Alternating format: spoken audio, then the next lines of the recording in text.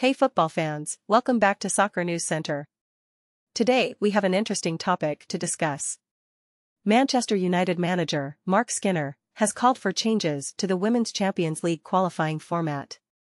He believes that English teams are at a disadvantage and that the current system discriminates against them. Skinner argues that the existing format, which splits the draw into two separate pathways, the Champions Path and the League Path is unfair to English teams. The Champions Path is for domestic league champions, while the League Path is for teams who did not win their divisions. Manchester United, making their debut in Europe this season after finishing as runners-up in the Women's Super League, were unseeded in the draw for the League Path. They will now face French runners-up, Paris Saint-Germain, for a place in the group stage.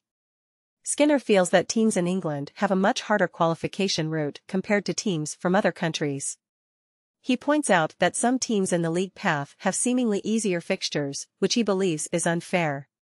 He believes that teams from the Women's Super League are strong and deserve a fair chance to qualify.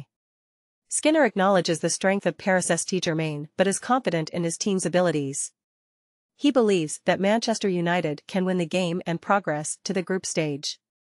He highlights the strong European Nights atmosphere at Manchester United and wants his team to give their all to secure a spot in the group stage. The Women's Super League is Europe's only fully professional women's football league, and only the top three teams qualify for Europe each season. Skinner believes that teams that finish third or fourth in the Women's Super League are often stronger than champions from other leagues. Skinner's call for changes to the Women's Champions League qualifying format raises important questions about fairness and equal opportunities for teams across Europe. Will UEFA consider his suggestions and make changes in the future? What do you think about the current format of the Women's Champions League? Do you agree with Marc Skinner? Let us know your thoughts in the comments below. Don't forget to like and subscribe to our channel for more football news. Thanks for watching, and we'll see you next time on Soccer News Center.